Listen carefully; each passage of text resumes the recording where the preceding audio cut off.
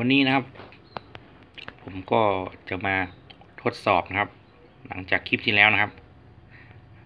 เราซื้อหินมาเราก็ต้องลองให้มันจะจะๆนะครับ ดีไม่ดียังไงมันจะได้รู้นะครับเพราะบางทีไปซื้อมาเนี่ย เราไม่ได้ลองครับก็เอคลิปเนี้ยนะครับ มาดูกันผ่านหรือเปล่าใช้ได้ไหมนะครับ อันนี้ก็ต้องลองนะครับ อันนี้เป็นหินเพชรนะครับ ตัวนี้เป็นหินเพชร ตราเพชรครับตราเพชรที่ผมได้ท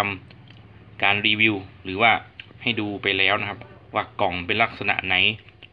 ยังไงนะครับทีนี้ผมก็จะมาลองรับให้ดูนะครับ ครับ เดี๋ยวรอสักพักนะครับ ขั้นตอนแรกนะครับ ก็ต้องเอาไป อยู่กับน้ำก่อนนะครับตะกี้ผมได้แช่น้ำไปแล้วพักนึงครับ ช่วงที่เอามาวางไว้ก็ให้มันชุ่มหน่อยครับ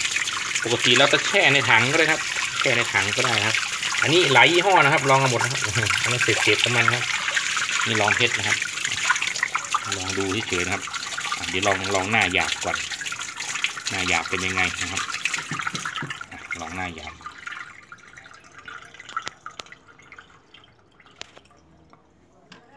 นนี้มีดมีดใหม่นะครับ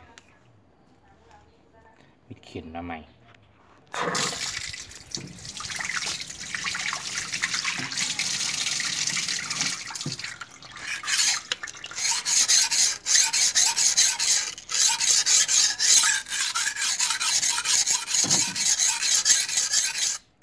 ขยับไปนิดนึงนะครับ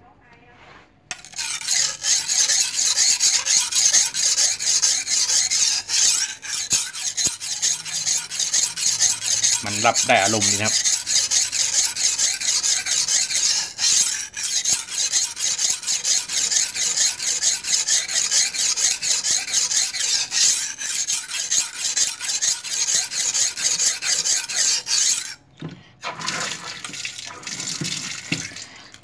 นี่ครับ กินเหล็กดีมากนะครับ กินเหล็กดีนะครับ อันนี้เป็นเหล็กแหนบนะครับ มิดใหม่นะครับทำมาใหม่ตัวนี้นะครับ โครนแทบ ไม่มีนะครับ แต่ก็อาจจะมีบางๆจากการกินเหล็กนะครับสะใจดีนะครับ ฟังเสียงนะครับ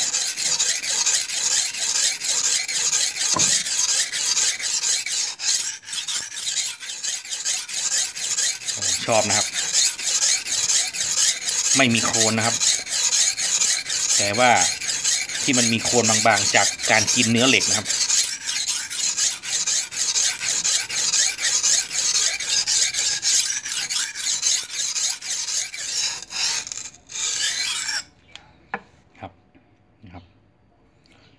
รูปดูนะครับนี่ครับ อันนี้นะครับ เศษเหล็กนะครับ ไม่ใช่โคลนจากหินนะครับเนี่ยครับ เดี๋ยวผมจะกดแรงๆนะครับนะอีกด้านหนึงนะครับ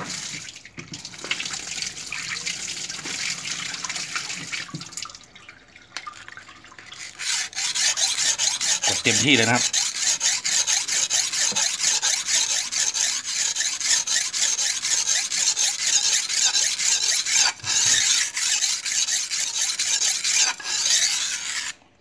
อ่านี่ครับ ผ่านเลยนะครับนี่ครับ เดี๋ยวลองอีกด้านหนึ่งนะครับ เป็นด้านละเอียดนะครับว่ามันเป็นยังไงนะครับ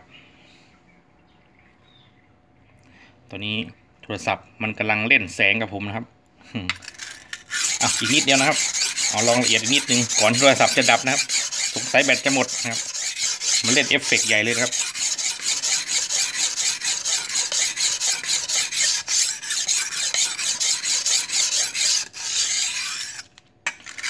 านนะครับ ใช้ได้นะครับ ไม่มีโคลนนะครับ กินเหล็กดีนะครับ นี่ครับ สุดยอดนะครับ คมมากนะครับตัวนี้นี่เลยนะครับ ใช้ได้นะครับ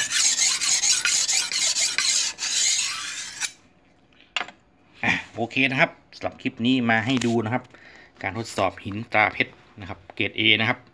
ก็ถือว่าให้คะแนนว่า ผ่านเลยนะครับ ใช้ได้ไร้โครนนะครับ มีแค่โครนบางๆ จากการกินเนื้อเหล็กเท่านั้นนะครับ